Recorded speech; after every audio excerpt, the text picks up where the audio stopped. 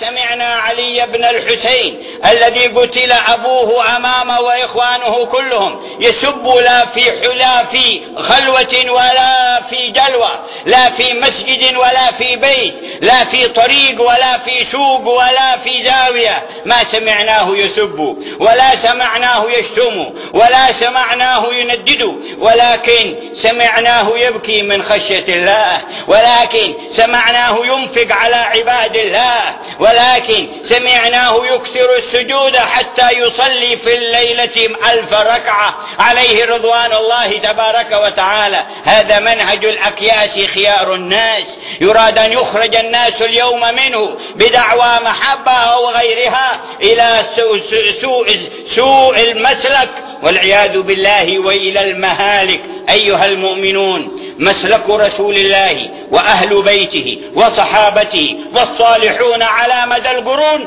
مسلك الطهارة مسلك النقى مسلك التقى مسلك التواضع مسلك الزهادة في الحطام مسلك البكاء من خشية الله مسلك الأخلاق التي بعث محمد ليتمم مكارمها فينا. إنما بعثت لأتمم مكارم الأخلاق.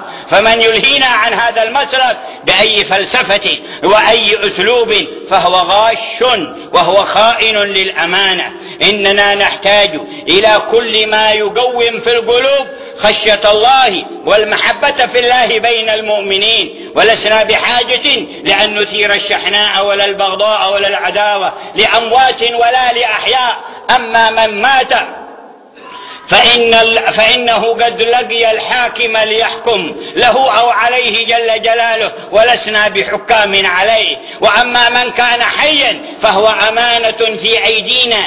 إن غششناه بملء قلبه بسوء أو البغضاء كان الحكم علينا يوم القيامة.